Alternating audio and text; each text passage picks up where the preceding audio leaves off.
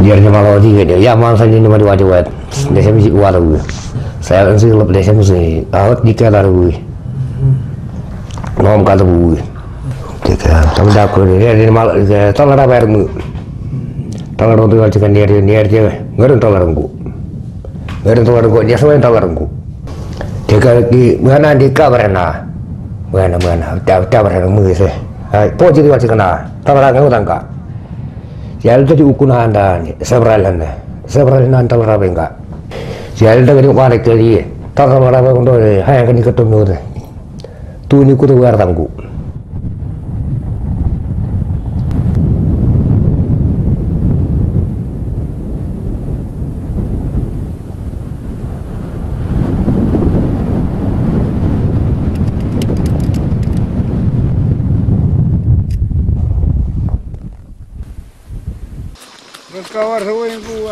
Помимо разнообразных индивидуальных способов добычи песца, немцы Ямала сохраняют традиции коллективной загонной охоты на песца, которая называется таларава.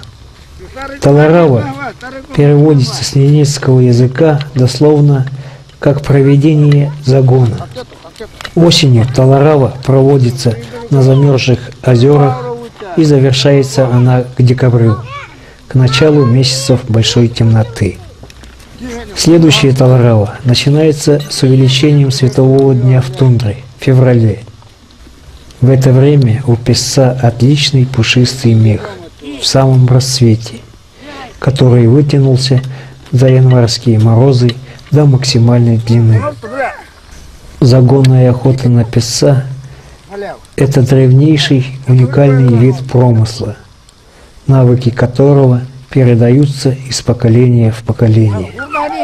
Он длится в течение 30 дней, в зависимости от погоды. В удачный год, когда в тундре много песа, и охотничий сезон обещает быть богатым, охотники договариваются между собой о начале дня охоты, передавая эту весть по цепочке от чума к чуму.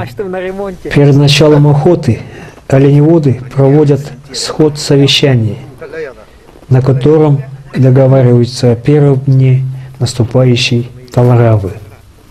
Один или два дня отводят на перекослание чумов к местам, откуда будет начинаться Таларава.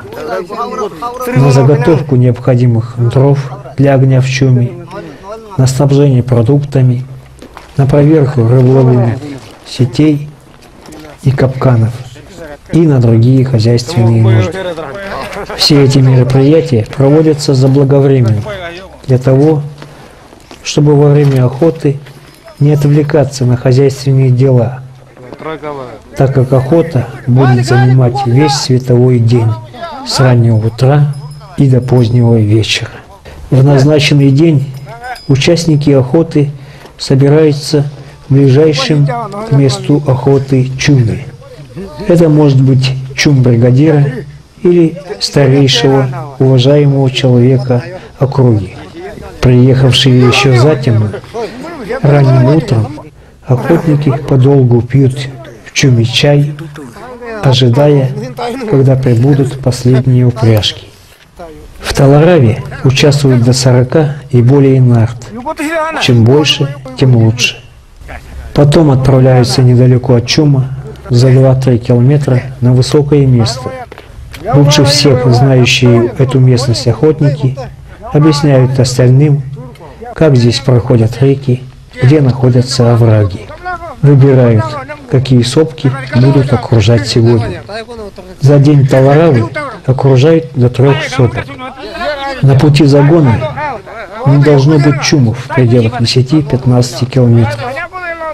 Первыми стартуют одновременно две упряжки, ведущие правый и левый фланги окружения. Они выдвигаются на большой скорости, почти прямо в противоположном друг от друга направлении. В них используются самые сильные олени.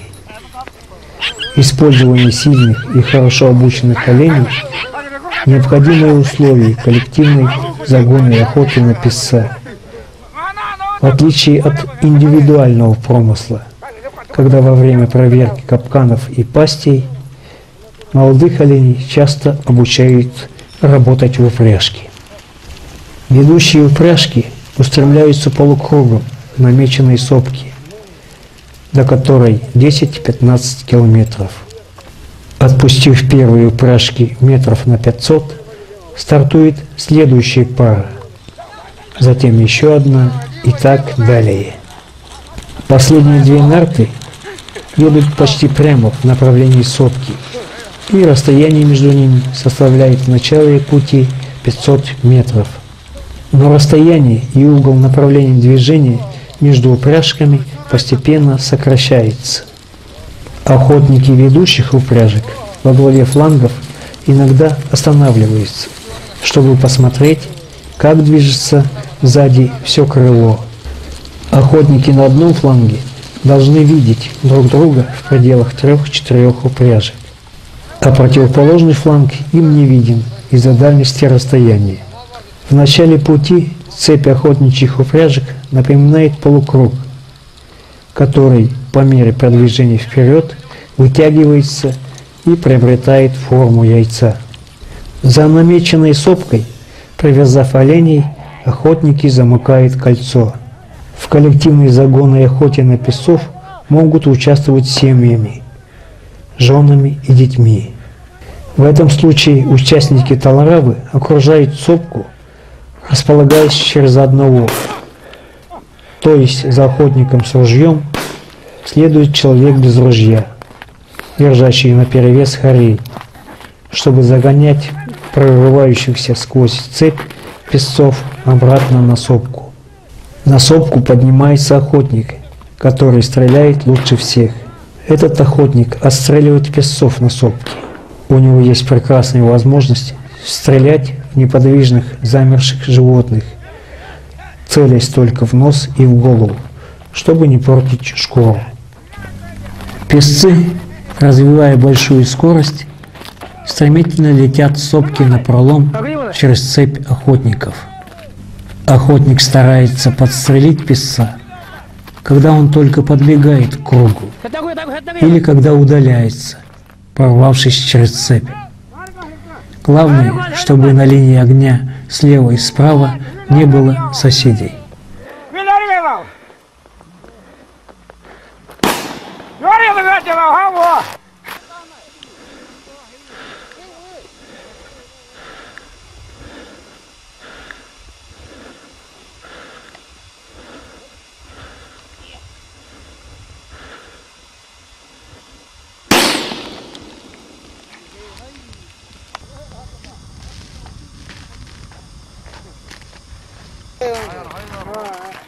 Когда отстрел песцов на сопке завершен, песцов раскладывают по сортам. Сортность определяется по качеству и по размеру животного.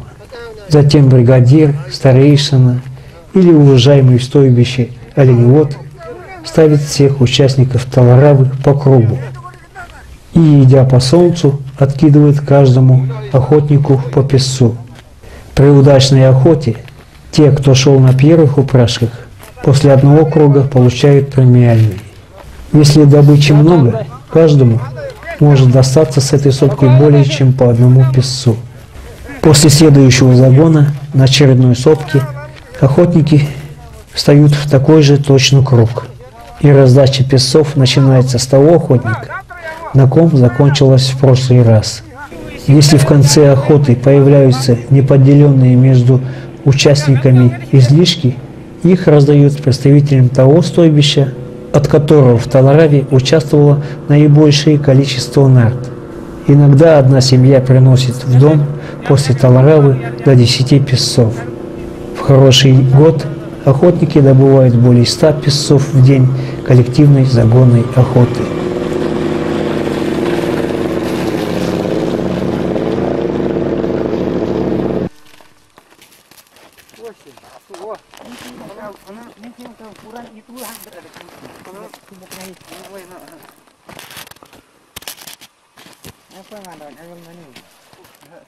В далекие времена, когда на Ямале было меньше людей и стойбищ, песца здесь было много. Охотники добывали по 250-300 песцов за зимний сезон. Сейчас здесь гудят буровые и снегоходы «Буран». Сияют огнями поселки. Стало гораздо больше цивилизации. Может, поэтому количество песца уменьшилось. Старики вспоминают, что во времена расцвета совхозов на Ямале за две недели коллективной загонной охоты одна бригада добывала до полторы тысячи песцов. В организации Таларавы участвовали инструктора райкома партии, специально для этого приезжавшие в тундру. Тогда существовали жесткие планы добычи, и те, кто их перевыполнял, получали награды, премии и благодарности. А тех, кто не выполнял план, штрафовали и отправляли летом на хозяйственные работы в поселок. Сейчас Таларава, как и другие способы охоты на песца в тундре, становится все менее популярной. Это происходит потому, что такая охота становится невыгодной. Теперь шкура песца ценится очень дешево. Однако традиции этого вида хозяйственной деятельности немцев до сих пор сохраняются жителями севера полуострова Ямал.